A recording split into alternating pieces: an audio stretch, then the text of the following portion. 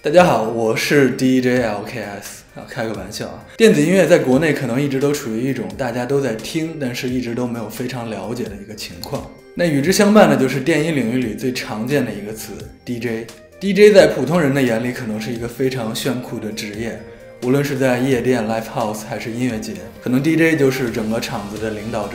观众们要嗨还是要蹦，全凭他手上的动作。那 DJ 有很多标志性的动作，比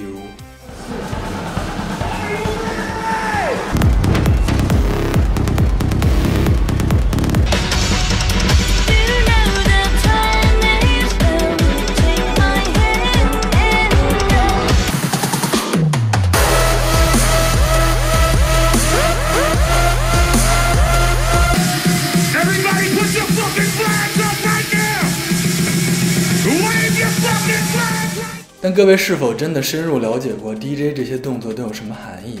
他们的动作如何影响到音乐，以及到底有多高的技术含量呢？今天我们请到了最近刚上线的某知名电音综艺的选手，让他来为我们做一个专业的解答。Let's welcome TSAR。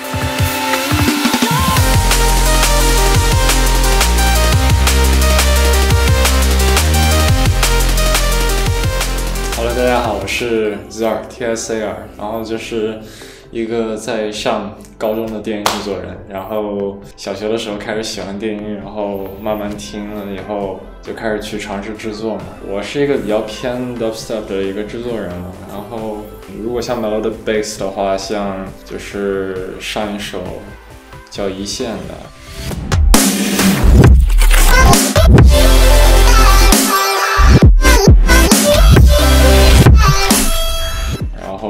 像 dubstep 的话，就是也给英雄联盟做的那个 Fever Forever。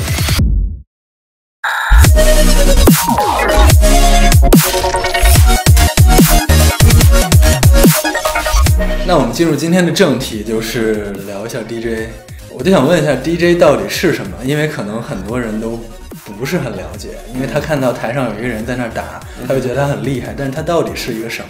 DJ 就是所谓一个他站在那种演出的那种 DJ 台上面呢，一直在不停的去接不同的曲子，带给大家就是一个不间断的一个 continuous 的一个 mix。我我是不是可以理解为，就是因为平时我们听的一首歌就三五分钟，对但是当你到比如说夜店里，你一听要听一个晚上，那 DJ 就是负责把很多的歌用可能比较统一的风格，然后放一个晚上。大部分他们会用来去接歌，然后做一个 mix 出来，然后有些可能会是就是 scratch，他们 scratch 方面很厉害的，然后还有一些可能就是结合其他的乐器，像 Launchpad，他们去会做一个 mashup 出来。但它并不是所谓的是某种电音风格，或者说某种啊、对，他什么音色什么。对，看到对以前看到网上有蛮多评论，他会说 DJ 是一个风格，但是对它不是一个风格，它是一种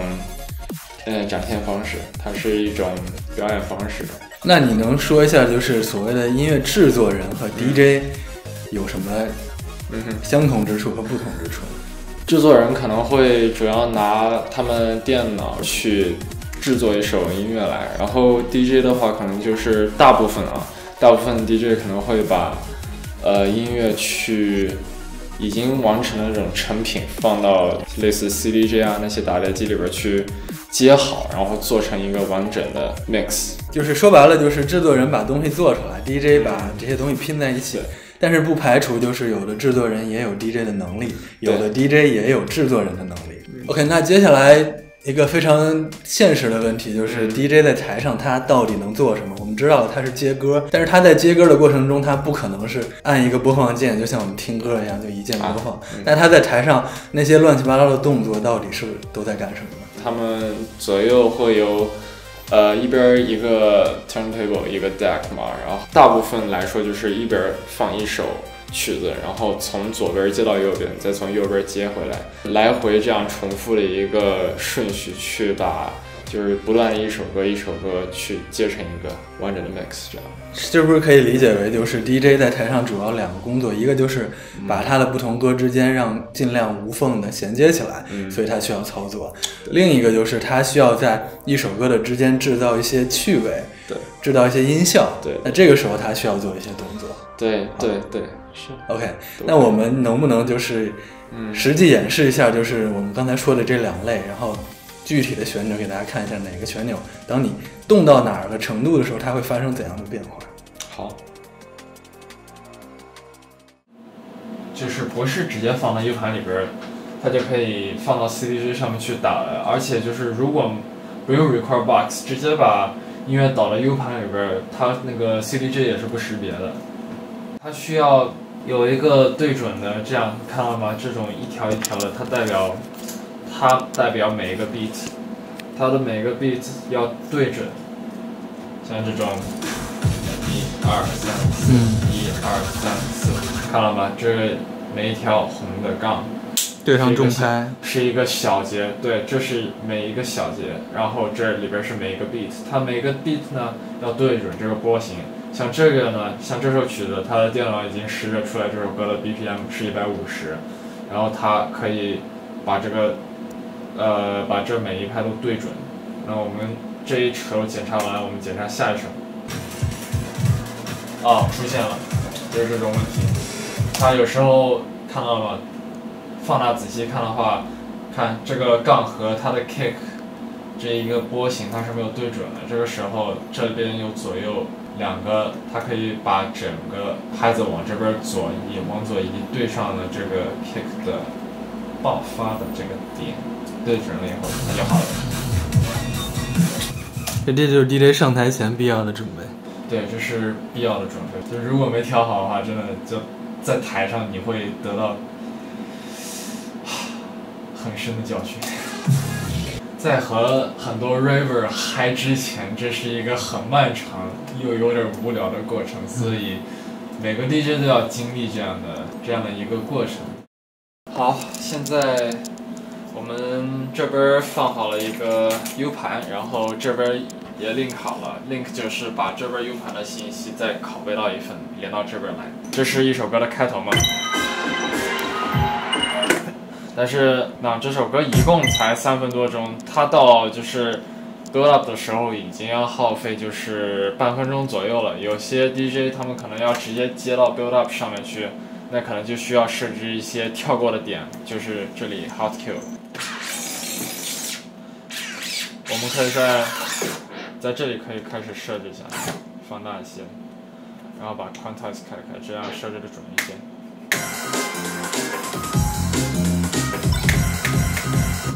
看到吧？这样就是在放那首呃另外一个 deck 的歌的时候，我这边突然选一个 smash，选这首歌进来，然后一点这个，它就可以跳到这一个环节来。那我们现在开始随便玩玩的话，那我们从第一个 build up 开始。音量稍微大一点。好。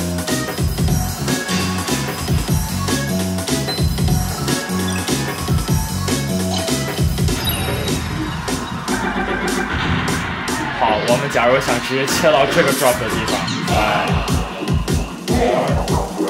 三、two、one，直接就切到这边来了。然后这个时候呢，我们想直接切到下一首歌的 build up，我们直接按这个地方，啊，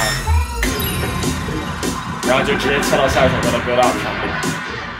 就从那个，就从第一首接到第二首上来说吧。看，我们现在的 EQ 都是好的。我们待会儿接歌的时候，EQ 需要的作用，至少是我的话，就是我混音的习惯是这样，就是希望 bass 不要去打架它的低音。那这是我们刚设好的 Q 点，这是直接可以切到 build up 的。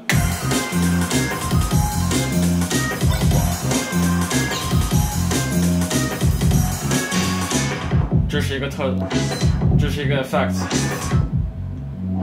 当然你可以换成这个，这个就是切掉地毯。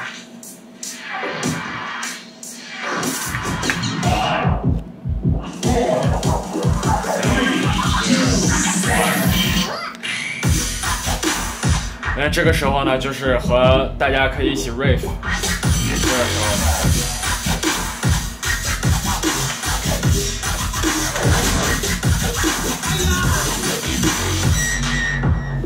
这首歌的 drop 它的比较长嘛，所以可以给足够的时间去设置另外一首歌。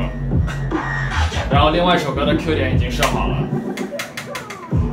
这个地方准备好按 Hot Q One，然后我们把这些关掉。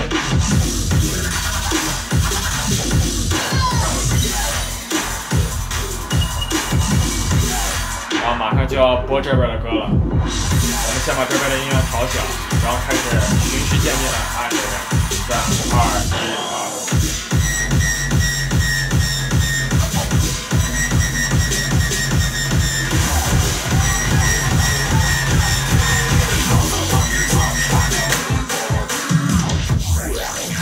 接到这边的歌上面了。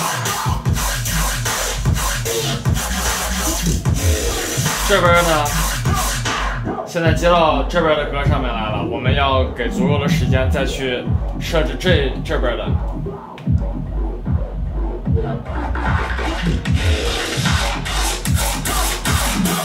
二三四三二一，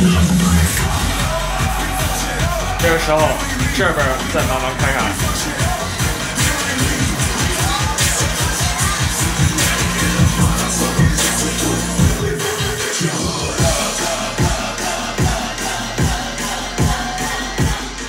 其实本质上对切这两首歌的是这两个音频音量的推子，就是什么都不做的情况下是这两个推子，但是你要做的就是对，就是让他们逐渐上下，而且中间要把 EQ 调好。对，然后就对最基本的是这样。如果就是有那种更加专业的 DJ，他们玩久了，玩出自己的新风格，他们可以用很多不同的方式。那接下来我就不得不说一个比较尖锐的话题，因为我其实去过蛮多各种不同的现场吧。有的时候我会看到，就是这个 DJ 其实他也没有戴耳机，然后他手也并没有在台上，他就会 everybody fucking jump，然后他就这样 这样就可能蹦蹦个一分钟两分钟。就是我我比较直白一点，是不是有的时候 DJ 他其实在舞台上只是一个 dancer 的作用，他只是用来表演一些肢体动作让观众来嗨呢？可能有时候他们 DJ 在上面不需要那么多繁琐的动作，然后可能就是需要就是充充数的那种动作放到演出里边去，呃，融合观众，这点是 OK 的。但是有时候可能就是一些 DJ 他可能会直接去按 play 键，然后去全程和大家互动。有个直播平台上面看到一个蛮好笑的那种，看到那个 DJ 他的那个碟机没有接上音频线嘛，然后就是没有接上音频线就在和大家互动那种，我觉得这种方式是不太对的，就是他用这种方式，他可能自己还没有去完整的了解到，就是 DJ 是一种什么样的文化，这点我觉得可能是需要让大家去理解、去知道的。就是真正的现场演出是一个什么样的概念？那这个盘子你平时会用吗？盘子的话，用来对拍的时候可能会呃就是微调，但是 scratch 的话，大部分 DJ 都不太就是不会去拿这个盘子来。会有什么效果呢？关键 这就是 scratch 的。对我不是一个 scratch DJ，、所以是 OK，然后那那边吧，效果那边，效果这边这边是吗？对，所以这中间的 mixer 呢，它可以给你干蛮多好玩的事情，就是，好，这是一个 low，切掉高频的 filter，然后这边是切掉低频的 filter。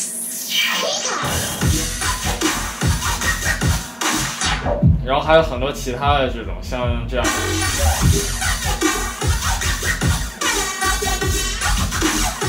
还有 noise，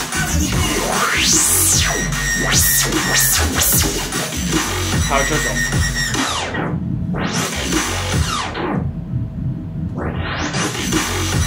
还有这种。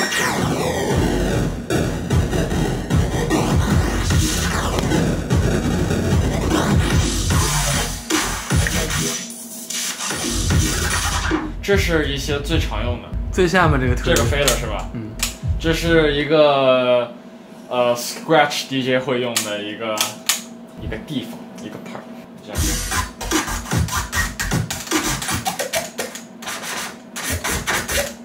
他们大部分都是这么这样这么玩，这是。这差不多就是像一个 模拟一个 scratch 的声音这样。好的，那通过今天这个视频呢，我希望就是大家能够了解到，呃，音乐制作人和 DJ 之间的区别，那以及就是一个 DJ 在台上他往往在干什么，以及他的操作都有什么含义。